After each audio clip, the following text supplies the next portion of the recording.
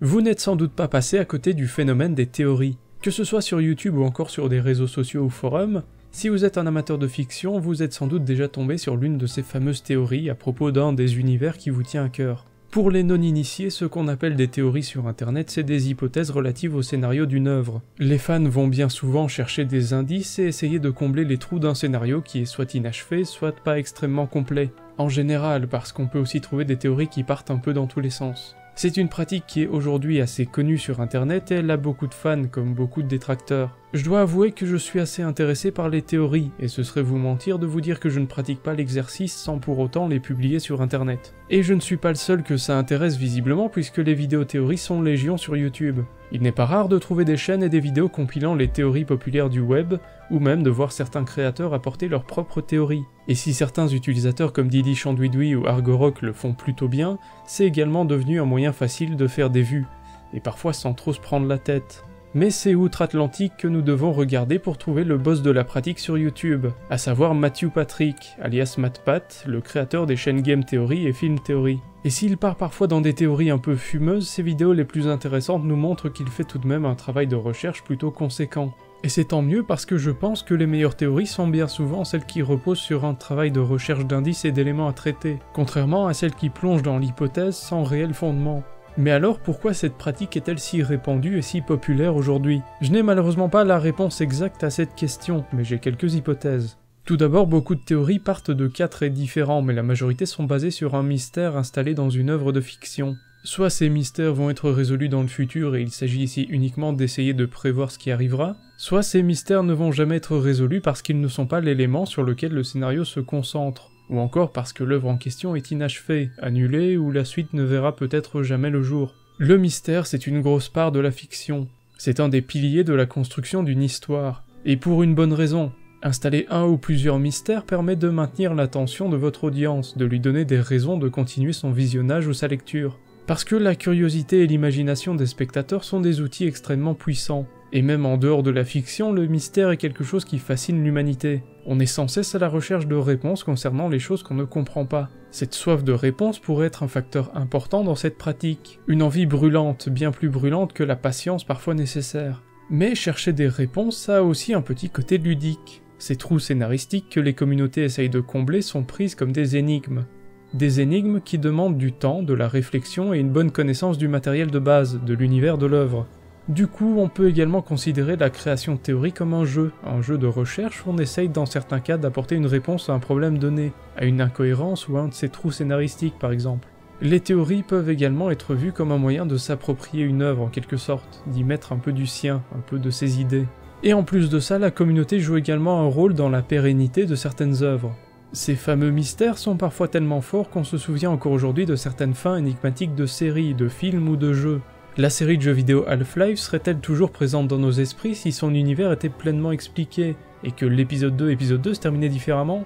Oui, sans doute, parce que c'est quand même de très bons jeux. Mais la communauté autour de Half-Life ne serait sûrement pas aussi vivante, et les demandes d'un Half-Life 3 ne seraient sans doute pas aussi insistantes. La communauté de fans ainsi que l'émergence des réseaux sociaux, des forums et autres sont des éléments très importants dans la popularisation de cette pratique. Même si ce n'est pas nécessaire pour faire vos théories, Internet a permis non seulement aux utilisateurs de partager leurs avis et leurs hypothèses, mais également de rendre la recherche plus accessible. N'importe qui peut donc scruter les wikis à la recherche d'informations et d'indices autour de différentes œuvres. Et aujourd'hui, certains créateurs jouent de cela en incorporant un mystère énorme dans leurs œuvres et en dispersant petit à petit quelques indices ici et là, histoire de faire chercher les gens. C'est devenu une part importante d'une communauté de fans et c'est un outil incroyable pour faire en sorte que votre œuvre reste dans les mémoires. C'est devenu une sorte de jeu que les créateurs mettent en place pour continuer à divertir la communauté en dehors du produit, en attendant d'avoir les réponses à leurs questions. Et parfois les réponses ne viennent même pas et ne viendront jamais. Et cette idée de jeu, parfois pratiquée en groupe, me fait beaucoup penser à un autre type de jeu qui provient d'Internet. Je pense aux ARG. Les ARG, ou Alternate Reality Game, en français jeu en réalité alternée, est un type de jeu organisé sur Internet. Il s'agit d'une histoire interactive en ligne qui, à la manière d'un jeu de rôle, demande une communauté et des gens pour organiser le jeu. Il s'agit donc d'expériences limitées dans le temps. Bon, j'ai très peu de connaissances sur le sujet, et le seul de ces jeux dont j'ai entendu parler c'était le projet Moon Children. Si vous vous intéressez au creepypasta, vous vous souvenez peut-être d'une histoire de cartouche hantée de Zelda Majora's Mask. Et bien après ça, le créateur de la creepypasta a lancé un ARG qui faisait suite et où les joueurs pouvaient interagir avec un site web.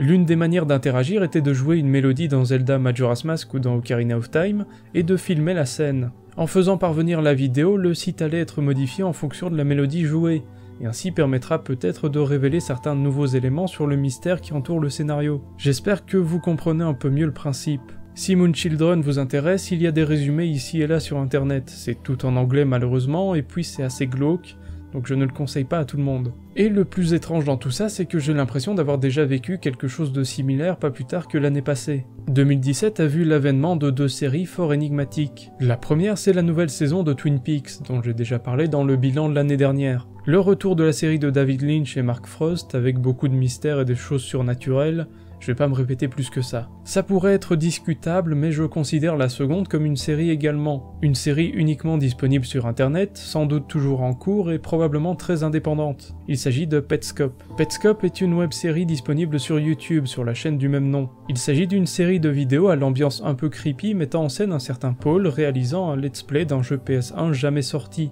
dont il aurait trouvé une version bêta. Encore une fois, c'est tout en anglais. Et si le début nous montre un jeu plutôt original mais pas forcément passionnant, Paul va pénétrer dans une version bien plus sombre et énigmatique du jeu dès la fin de l'épisode 1. 12 épisodes de durée très variable sont disponibles à l'heure où j'écris ces lignes, et pour le moment on ne sait pas trop où le projet veut nous emmener. Il y a un côté dérangeant qui est très présent, et encore plus quand on sait que la série fait parfois référence à de vraies affaires de meurtre. Donc c'est un peu délicat, on sait pas trop si le projet est pas très cool ou s'il y a réellement un propos derrière. Mais en tout cas je ne peux pas lui reprocher que le côté mystérieux est bien géré. Toute la série est une énigme, et ça passe aussi par les descriptions des épisodes ou parfois par les miniatures des vidéos ou la photo de profil. Et après réflexion, je considère ces deux séries comme des sortes d'ARG. Les deux ne sont pas interactives, les épisodes ne s'adapteront pas au comportement de leur communauté. Mais pour autant, la communauté était bien vivante et très active pendant leur diffusion, mais vraiment très active. À chaque fin d'épisode, les pages Reddit des séries en question étaient inondées de théories ou d'interrogations concernant ce qu'on venait de voir. Et parfois même, l'exercice de théoriser en solo est devenu un vrai travail d'équipe,